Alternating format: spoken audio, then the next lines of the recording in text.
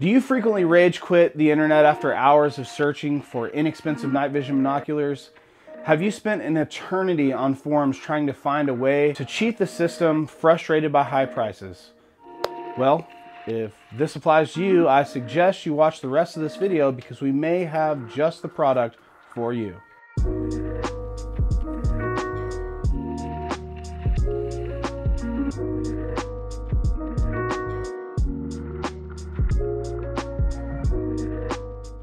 Today's video is a bit of a follow-on from our previous video we did on the Infiray J31. Um, today we're going to be talking about the J14.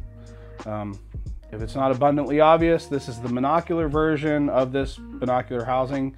It has a lot of the same features and same user interface. Um, this actually brings a lot to the table for the price. Just to get started, these are available on our website for $22.99 says the same NNVT tube that is present in the J31.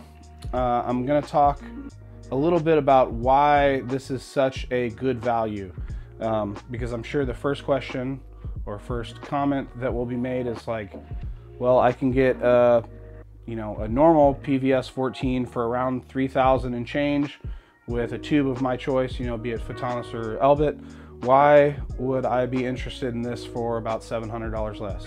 Well, first and foremost, maybe you have a really tight budget. Like I said in the intro, a lot of people are searching, scouring the internet, trying to find a way to get started with night vision for little to no budget. So with the J14, you get a lot of things that you don't typically get when you buy a PVS 14. First and foremost, it comes with a J-arm. Um, this is usually a 150 to $250 additional accessory you have to buy when you buy a PVS 14. With the J14, it comes included. Just like the J31, it comes with a little day cap. You know, it's not a huge deal, but it is significantly smaller than a PVS 14. But it has all the features that you have come to expect with a night vision binocular. It's got an an IR illuminator built in, a light sensor to uh, communicate with their pseudo auto gating that they do. Um, it still takes a single AA battery. I'm going to talk about some of the things that it does that a normal PVS 14 doesn't do. Just like the J31, it comes with an additional bracket to interface with one of these guys. So if you were to buy a J31 and later on you want to add some thermal capability to your repertoire, or however you say that, I don't speak French. Um, you can simply attach this bracket to the bottom of the night vision binocular and simply slide on a Jerry C5 or CE5. Um, there's four or five different variants of this, but essentially they all work. So you have not only night vision capability, but now you have a thermal overlay all in one nice, neat little package. Another thing that was kind of cool about these. Um, it was an, it's an issue that's already been addressed by Infiray. These people move very fast.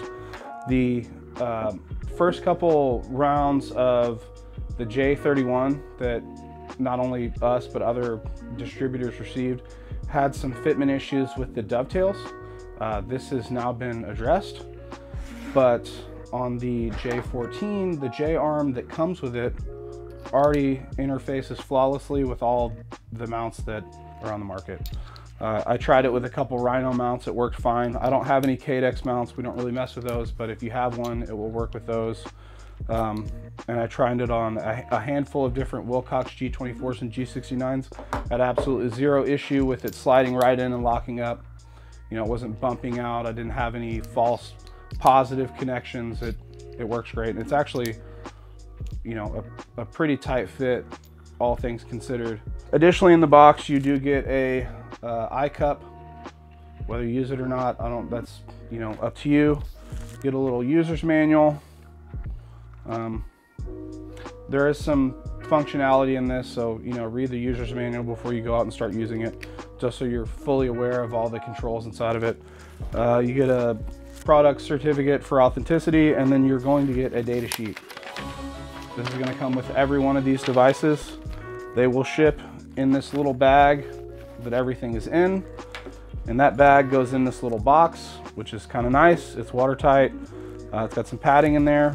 with the you know additional padding of the bag that it comes in, and it has a um, shoulder strap. If you like to carry your night vision around in a tiny case like this with a shoulder strap, it's actually got a belt loop. So if you want to, you know, wear it on the front like a, you know, you have your cell phone on one side and your night vision over here, maybe a pager back here. Um, yeah, that's probably a pretty cool look for the, the summertime. Anyway, all that's included in the box. Really hard to beat this value. I mean, as we talked about in the previous video, this is a Generation 2 imported tube. Uh, it's not going to be a direct competitor to like a Generation 3 night vision tube or like, there's going to be some uh, give and take. So you're getting a lot of features. Um, you're getting pretty impressive performance out of these things. Uh, you are giving a little bit of up in the optical quality, but I would say these uh, these optics, as I said in the last video, are sufficient to do what 95% of y'all are going to do with them. Um, we've been using these for about a week now, and I have nothing bad to say about them. I'm to get the scale out real quick, and we're to do a side-by-side -side comparison between the J14 and just a standard mil-spec Carson PVS 14 with mil-spec optics and an L3 tube inside of it.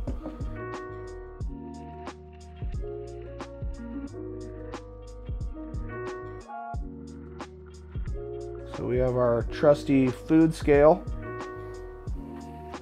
I'm gonna start with the PVS 14. On this scale, it comes in at right, right at 304 grams. Again, that's the mil-spec PVS 14 Carson housing L3 tube, yada, yada, yada. This is the um, Infiray J14.